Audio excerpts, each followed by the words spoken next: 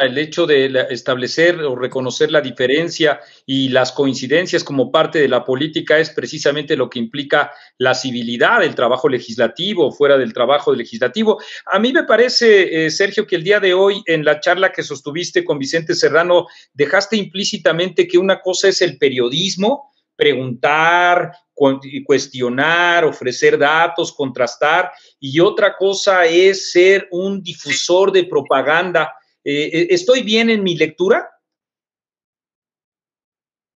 Pues bueno, cada quien hizo las lecturas que quisieron, que les correspondieron, incluso el mismo Serrano, este, pues pudo hacer la lectura, el mensaje fue claro eh, y fue muy contundente. Si él fuera un poquito más objetivo en sus comentarios y menos radical, pues creo que tendría mucho más legitimidad en sus comentarios.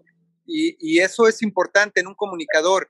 Una cosa es ser comunicador eh, y ser objetivo con tus comentarios, pero, pero su tendencia es muy clara y yo soy, entiendo su programa, entiendo su postura y se lo dije y que él tiene que defender esa postura, esa, eh, pero bueno.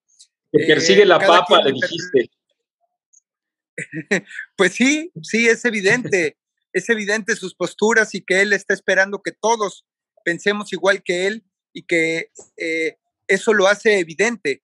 El hecho de que él no sea objetivo en sus comentarios y que de alguna manera esté buscando radicalizar, pues hace eh, evidente el, comentario que hice y él eh, pues se sintió ofendido, pero bueno, ese es también mi punto de vista y vivimos en un libre, en un país libre eh, donde puedes hacer libertad de expresión y yo sé que me eché encima a todo su auditorio en cierta forma, eh, pero mi comentario no fue hacia su auditorio, fue precisamente hacia él, porque él intentó incluso contraponerme con el mismo presidente, contraponerme con, la, con su público, lo cual no me parece correcto. Mi postura fue directa hacia la postura que él tiene.